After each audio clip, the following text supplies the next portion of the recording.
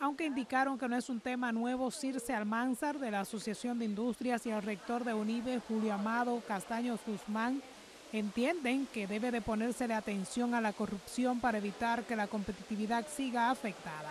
Nosotros hemos tomado muchos controles eh, administrativos como país eh, para que las compras gubernamentales se rijan por un procedimiento, tal como lo indicó la ley de compras a raíz del acuerdo de libre comercio con el Estados Unidos, el DERECAFTA, eh, pero al parecer eso no ha sido suficiente.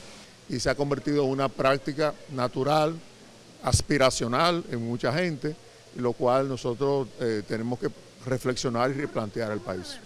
Opinión parecida tiene el director ejecutivo del Consejo Nacional de la Empresa Privada.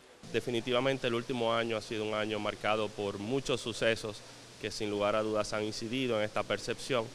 Dentro de las acciones que el sector privado propone para acabar con la corrupción está que la justicia funcione.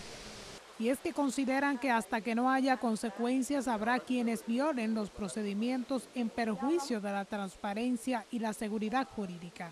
Creo que debemos ser más ágiles a la hora de, someter a la justicia a, a los que involucrados, pero también el castigo para que esto sirva de ejemplo a la sociedad. Existen los mecanismos, existen las eh, instituciones eh, a cargo de todo lo que tiene que ver el establecimiento de un régimen de consecuencias. Con relación a la posición del país en el informe de competitividad del Foro Económico Mundial que sitúa en el lugar 123 de 138 países a la nación, citado por Copley, el director del Consejo Nacional de la Competitividad aseguró que con las 24 líneas de acción del Plan de Competitividad mejorará la percepción que en esa materia tiene el país.